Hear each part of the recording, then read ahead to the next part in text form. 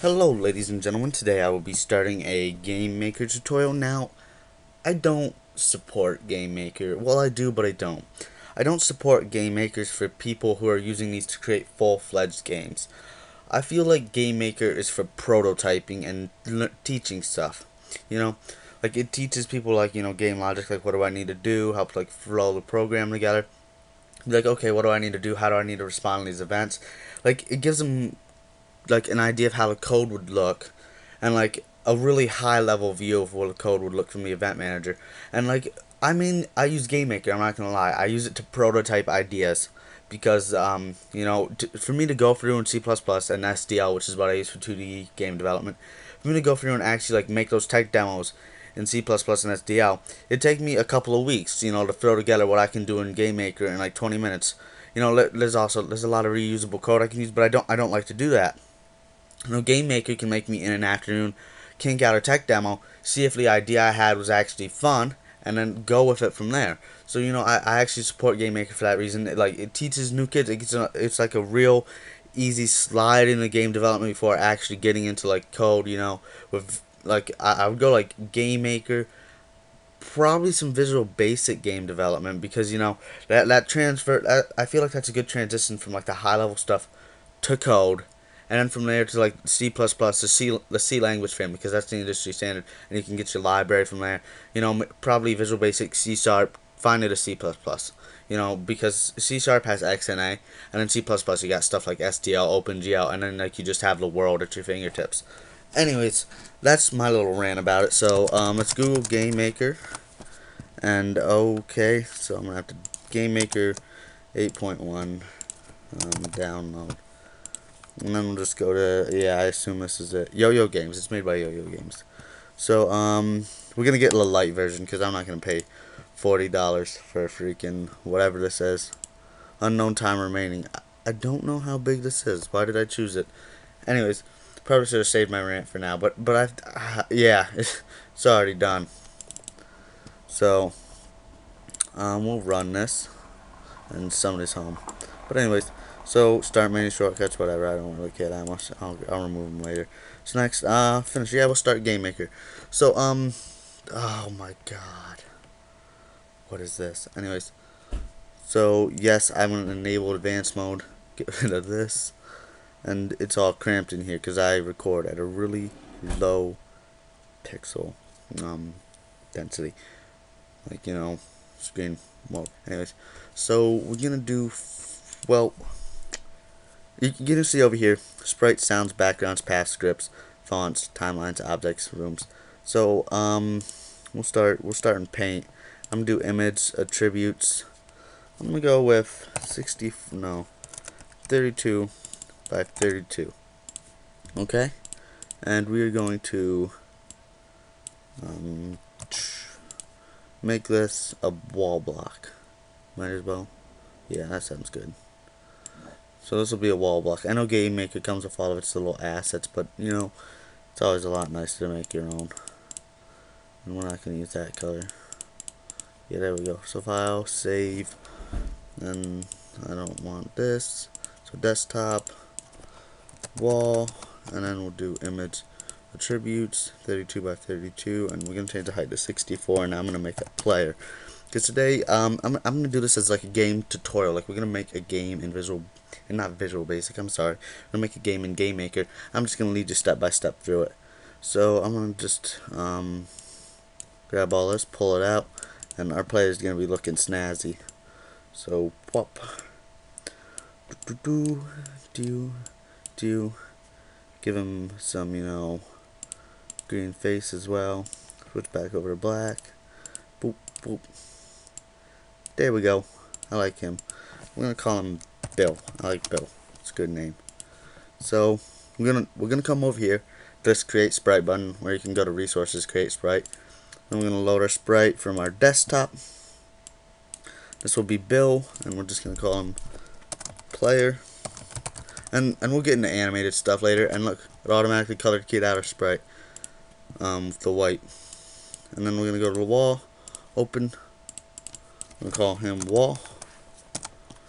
And now that we have our two sprites. Sprites are the images displayed on the screen, but sprites like aren't just like you know rendered. Sprites are actually put into objects. So what we're gonna do is we're gonna go to the uh, blue ball and do create object. I'm gonna call this one our player, and our and his sprite will obviously be the player sprite, and he'll be click the solid button. We're gonna add event keyboard. Um, we'll just do the left. Um, right up down ones for now. Because what we're gonna do today is make him just move and that's it. So left right up down. And he's not gonna do any shooting. And oh we're also gonna need the keyboard no key. So first off for the no key the no key event means there's no key being pressed. And so what we're gonna do is we're gonna make it not move. And that's gonna apply to himself. So for his left these are, all under the movement. See all these tabs over here these are all like the uh, things you have I think I'll just go like you know one by one into all the stuff. But uh anyways so we got uh that one. Our left. What are we gonna do? This one's left right? Yeah. So I'm gonna do five. Up. Five. Right. Five and down. Five. Sweet. So this actually will create an actual game we can play. So I'm gonna just take we have our sprite over here on the side. Boom, we got him. Let's let's play. Let's see what he does. So here's our game. I hit the little green play button up in the corner. Left, right, up, down. Look how easy that was. So easy to make tech demos in this game. That's actually why I'm kind of supportive of Game Maker. But like if you're actually gonna make like a full version game, no, please don't. And um I care someone doing a beta channel. Anyways, there's a game maker little thing. Set. So we have him moving around. Now, um, this the game we're gonna make is gonna be a nice, fun puzzle game. Now, we right now we have a problem. We can we can actually keep him inside the screen with some of these uh, events. I think I got this. Yeah. Um, which one is it? I actually don't want to do that. We're gonna we're gonna set up our walls now. So we're gonna create a new object, and this is gonna be our wall object. So we'll just call it wall. And I hate it because when you do that, this will just be solid. This is all it's gonna have. We're just gonna click that solid button, give them a wall sprite. That's all we need. So we're gonna go back to our player, and we're gonna add an event, a collision event with our walls.